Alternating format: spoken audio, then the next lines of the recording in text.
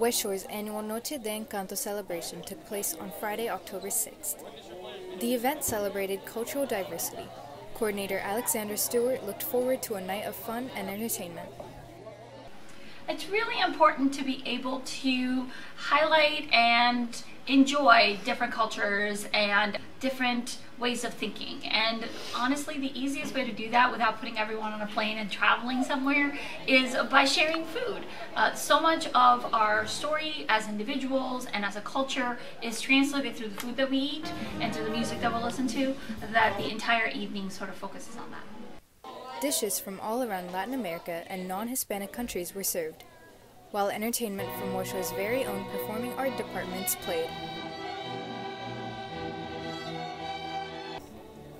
Spanish Honor Society Vice President Arya Jaital finds the importance of Noche de Encanto as it provides cultural inclusivity for all ethnicities. I think this is one of the biggest events Spanish Honor Society does. It shows kind of what we are also as a club, not only wanting to spread Spanish culture, but also inviting other cultures and being welcoming. Parent volunteers from different backgrounds also displayed their cultural dishes. I make amazing empanadas, and that's what I did, and I think it's a wonderful fundraiser. For WCTZ News, this is Magna Gedem reporting.